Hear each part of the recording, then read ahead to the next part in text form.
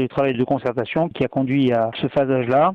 Il s'agit de prendre en compte euh, l'amiante et qui nous oblige à travailler euh, sous coupure et euh, compte tenu des difficultés enregistrées durant les périodes passées, il a été convenu de travailler de nuit de manière à produire le moins de gènes possible sur le secteur. Il s'agit d'un chantier qui est intrinsèquement déjà compliqué puisqu'il s'agit des, travaux de soutènement par travaux spéciaux, c'est-à-dire avec un système de voile en béton projeté ancré, des travaux qui nécessitent des travaux acrobatiques lourd et donc euh, le fait effectivement de réaliser de nuit euh, rajoute évidemment à la difficulté euh, déjà de ces travaux. Les travaux qui ont débuté le 1er octobre et qui se dérouleront jusqu'aux vacances de février avec une petite trêve durant les vacances de Noël.